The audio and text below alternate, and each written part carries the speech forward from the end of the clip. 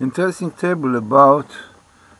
Edom and Christianity, the best meeting of the Torah, and Islam from the other side, and Egypt, connected definitely today, we see it clearly, and then Obama, which really is connecting with both of them. Then we have here Obama, as we said, and the most interesting is uh, prophesying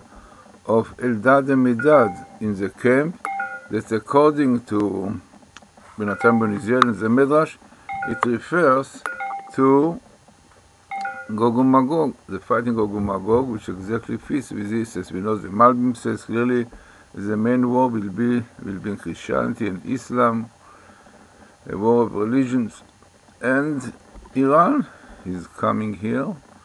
also no doubt with the Islam.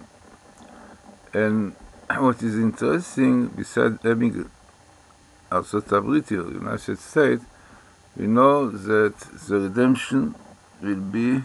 through Mashiach ben Yosef, who will redeem us. And here we have it, Igal ben Yosef. Ben Yosef will redeem us from all these troubles. So as we said, very, very interesting table as it fits with the prophecy of Eldad and Medad, as Rabbi Amnon Yitzchak speaks a lot about, which has to do with Gog and Magog, and we know quite well if the Malbim says that this fight will be between Islam, Christianity, and this will be the main really war. So let us hope that really will be saved from all these things, keeping Torah mitzvot, and having merit to have Mashiach ben Yosef.